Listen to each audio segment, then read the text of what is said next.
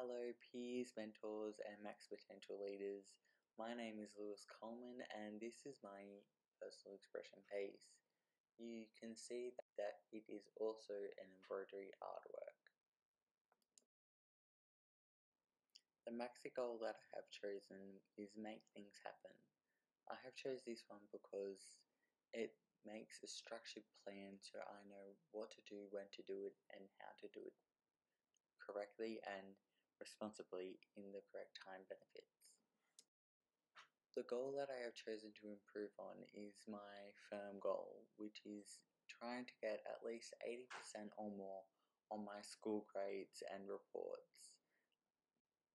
This before embroidery image shows that my mindset was confused and frazzled with what I wanted to do with my life slash work ethic. The after slash during max potential shows I am more stable and confident in what I would like to possess and produce with the work of max potential.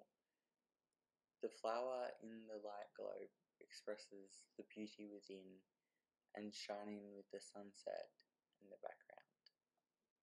Lastly, with this embroidery sewing machine, it shows the extent of how I believe and will succeed in the sewing industry with my own labeling brand. And lastly, I would just like to say thank you for listening and have a wonderful day.